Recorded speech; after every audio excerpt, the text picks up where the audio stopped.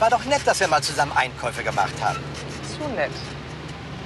Hast du den gesehen? Der kam von rechts. Nein, ich sehe nichts. Ich kann gar nicht sehen. Ich mache nämlich beim Fahren die Augen zu, weil mich der Verkehr nervös macht.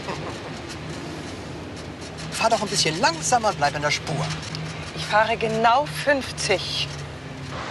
Siehst du, ich hab's gewusst, ich hab's gewusst. Nein, nein, nein. Was ist denn? Du fährst. Dann kommen wir heil nach Hause, harmonisch und ohne Nervenkrise. Mein Name ist Lose. Meine Frau und ich tauschen nur die Plätze. Es gab da Unstimmigkeiten wegen der Fahrweise. Ich hielt es für besser, dass jetzt mein Mann fährt. Sie hätten an meiner Stelle auch nicht anders entschieden.